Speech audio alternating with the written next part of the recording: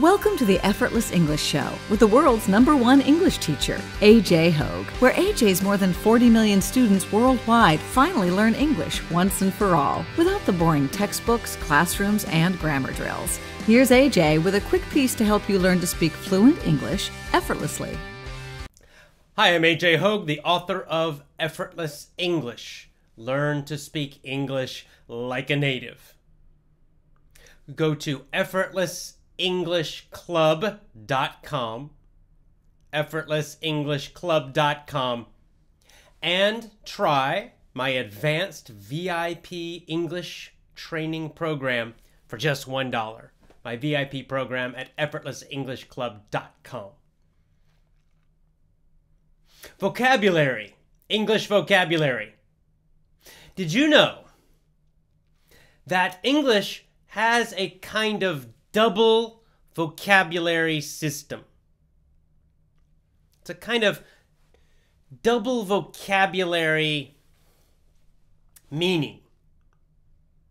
In other words, often in English we have two words for the same thing, sometimes more. But the interesting thing is that these words can have very different feelings. Even though the words mean the same, there's a kind of a different feeling. One might have a more casual feeling, and one might have a more formal or intellectual feeling. For example, to drink and to imbibe. To drink and to imbibe. They mean the same thing. But drink has a very common, conversational, informal, not formal feeling.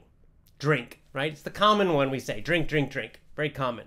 But imbibe, imbibe, it's the same meaning, but it has a much different feeling. Imbibe sounds more formal, imbibe sounds more sophisticated, more noble, more intellectual. So we have these two words that mean the same, but they have different kinds of feeling informal, formal, common, intellectual. And this is true with many, many, many, many, many different English vocabulary words. They often come in pairs that have different feeling. Why? Why drink and imbibe? Why do they have such different feelings? Well, the answer to that is 1066. The year 1066. It's time to learn some history about the English language. And this is the most important year for the English language 1066. In the year 1066, the King of England died, Edward. Edward, King of England, died. Well, when Edward died, there were three different men who wanted to become the new king. Three different men. One, Harold Godwinson. Harold was in England. He was a Saxon. Right? The Saxons were a people that originally, a long time ago, came over from the German area, Germanic. They were a Germanic group that came into England and settled, and they were there for a long time. And the Saxons spoke a kind of Old English, what we call Old English. So we had King Harold Godwinson and his people, he was already in England, and they spoke Old English. The second man who wanted to be king Harold Hardrada. Hardrada. Hardrada was a Viking from Norway. He was the king of Norway. He believed that he should be king. Why? Because in the past, one of his relatives ruled England. And so he said, No, I am the rightful king of England. I should be the king. Harold Hardrada of Norway, king of Norway. Of course, he spoke of kind of Old Norse, a kind of old version of Norwegian and Danish, as did the Vikings, his people. And the third man who wanted to be king was William of Normandy, Duke of Normandy. Normandy is the northern part of France. The Normans have an interesting history. Normandy was invaded by Vikings, guys from Sweden and mostly Norway and Denmark, actually. And they came in and they conquered Normandy. But then, after several generations, they mixed with the local people, and so they spoke French. So, William of Normandy and the Normans, French speakers. So, these are the three groups. In England, you had Harold Godwinson and the Saxons, they spoke Old English. In Norway, you had King Harald Hardrada and the Vikings, they spoke Norse, Old Norwegian. And in Normandy, north of north part of France, you had William and his people, the Normans, they spoke French. So in this year, the history of the English language would be decided by two big battles. First, Harold Hardrada and the Vikings invaded England in a bunch of ships. They sailed in their ships from Norway and they came over and they landed in northern England. King Harold and the Saxons, down in the London area, very quickly marched north with an army to fight the Vikings. In fact, this is one of the most famous marches in you know English military history because they marched so fast. At that time, it was an unbelievable speed. In just a few days, I think it was four or five days, they marched from London all the way up to northern England. They marched so fast, they surprised the Vikings. The Vikings were of sitting around, they weren't expecting an army yet, and suddenly the Saxon army showed up with Harold Godwinson and they had a big battle. It's called the Battle of Stamford Bridge because there was a big bridge there. So it was a it was still a vicious vicious fight, but the Vikings were not ready. A lot of them they didn't have their armor on. Their armor was off because they were relaxing. So the Saxons had a big advantage by surprising them. But still it was this huge bloody battle. There's this famous story about one huge big Viking guy with an axe stood on the bridge by himself. And I don't know, you know, they exaggerate these stories, so we don't know the truth. But some say, you know, for like an hour he just killed hundreds of Saxons until finally they had to come in boats underneath him and stab him with spears, and he finally died. So it was this huge, huge, huge battle, but the Saxons won. They defeated the Vikings. King Harald Hardrada, king of Norway, was killed in the battle. The, the few surviving Vikings went back to their ships and they went back to Norway.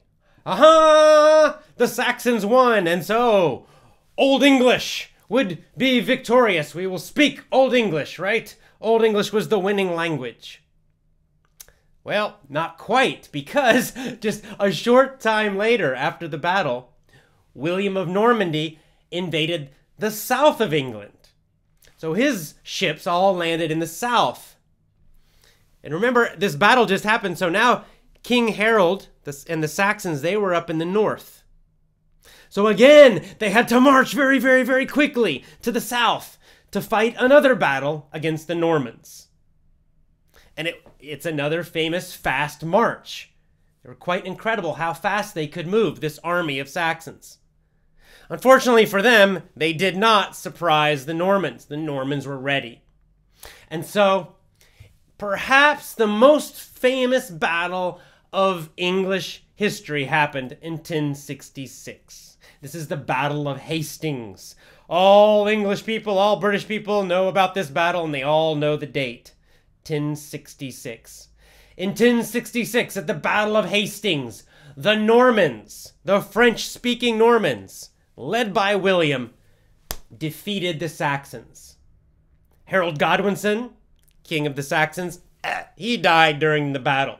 So William became the new king of England. The Normans conquered England. The French speaking Normans. And now William is called William the Conqueror, right? To conquer means to take land, right? To defeat an enemy and take their land. You conquer them. So William the Conqueror and the Normans became the rulers of England. Why is this important for the English language?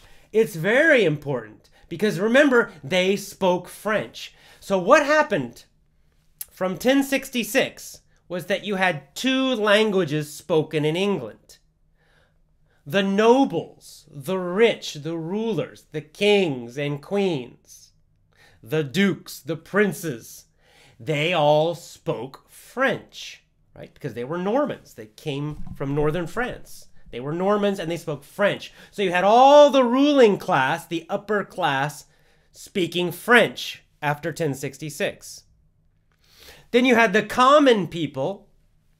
They were still Saxons and they were speaking Old English. So you had a two language system for many years, hundreds of years. You had this two language system in England. And now you can start to see why there might be two sets of vocabulary in English. We have words that come from French and words that come from Old English, the Saxon words. Now, eventually, over hundreds of years, these two started to mix. French and Old English mixed together to become Middle English and eventually Modern English, the English we now speak today. So, modern English has a big influence from French and also Old English, Saxon. These two mixed together. So, we commonly have words from both languages. So, to drink, that's an Old English word, a Saxon word originally. Imbibe, to imbibe, is originally from French. It comes from a French word. Probably you can guess why do they have a different feeling? Why do the French words have a more intellectual meaning or feeling, a more formal feeling? And why do the Saxon words have a more common meaning?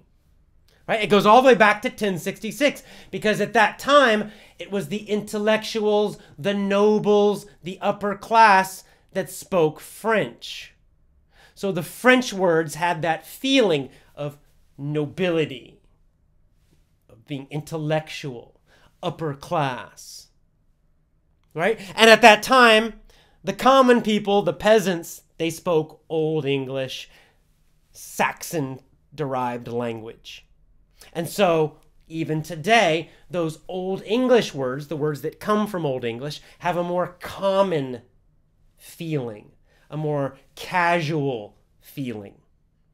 And this is why we have this double vocabulary system in English.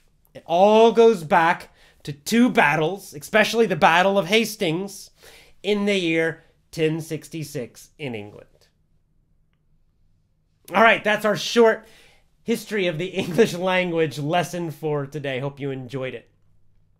As always, go to effortlessenglishclub.com to learn more about my English speaking lessons. EffortlessEnglishClub.com. See you next time.